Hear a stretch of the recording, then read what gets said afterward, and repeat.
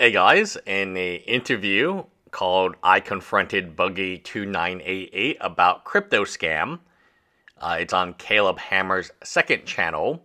Boogie compares his Faddy coin to Magic the Gathering cards. oh man. Um, this is not, you know, I, I was watching it and I had no idea that was coming, but yeah, so he compared Magic the Gathering to Faddy Coin, which is a crypto scam. And then right after, he said it was exactly like Beanie Babies. So, wow, that is a lot to kind of digest. Not expecting to start my morning listening to Boogie talk about his crypto scam and, and bring Magic the Gathering. Magic the Gathering is not a scam. It is it is very far from a scam. And Beanie Babies, I would say, probably wasn't a scam. It was just kind of a fad, and maybe more like a, a pump and dump. But uh, I wouldn't compare Beanie Babies to crypto or the Faddy coin that he was promoting. So he's done an interview on Caleb before, and he's talked about Magic the Gathering on that interview. On this particular interview, uh, he is again talking about Magic the Gathering. So maybe he blames it for all the bad things that's happened to him. I'm not sure why he keeps bringing it up in this context because, in my opinion, it has nothing to do with him selling his crypto coin. Maybe he's selling his crypto coin to Magic the Gathering players. Maybe I, I don't know. But let me let me see if I can uh, grab this here. Uh, purchase the coin, go broke. Let me play some audio.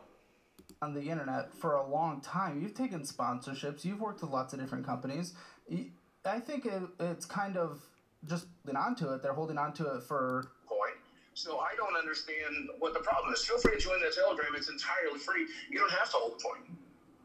Okay, so when you launched it at the, the, the Telegram community at the same time with this coin, they use celebrities' faces like this. Oh, the potential victim route, and you say.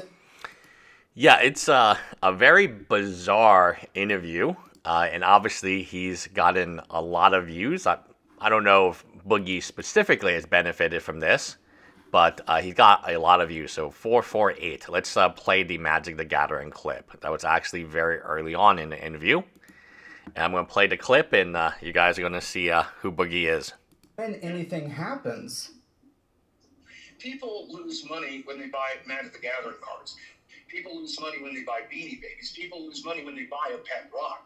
Uh, you're losing money when you purchase just about anything. That was my idea for the.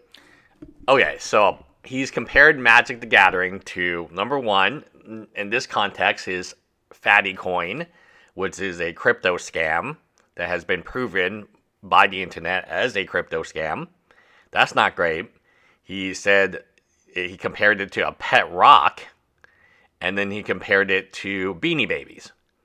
Um, so I'm here to defend Magic, as interesting as that might sound.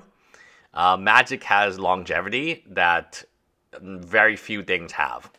There are very few anything like TV shows or media or even the Marvel movies might not last 30 years, to be honest, given the state of things right now. Um, people are not really that stupid, right? It's not a pet rock where it doesn't have any utility. The utility in Magic specifically is you can play Commander, you can play Casual, and every card does have some value to someone who it might be their favorite card. Now, compare this to his crypto token, which has no utility, which is, you know, he's still promoting it as we go on.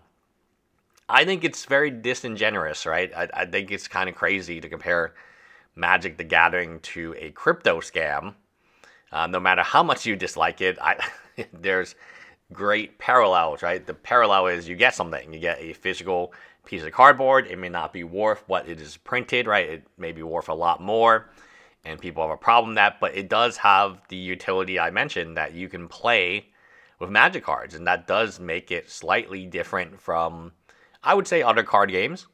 Um, I would even uh, openly say that in terms of utility, Magic prob- cards probably have the highest among all card games, including Yu-Gi-Oh and Pokemon.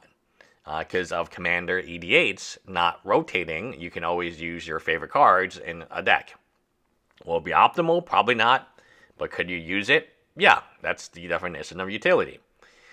Now, another thing that I think Boogie is trying to do, so he's he's under a lot of criticism for these scams that he's running and his e-begging, and eventually it'll, it'll get to him, right? He was promoting his fake crypto coin, Faddy Coin, and now he's getting backlash. And but why why drag Magic into this, dude? Like when he was doing the financial debt, like and in his like interview, Magic must have been a very big part of his life and I think subconsciously or even directly, he blames Magic for where he is today.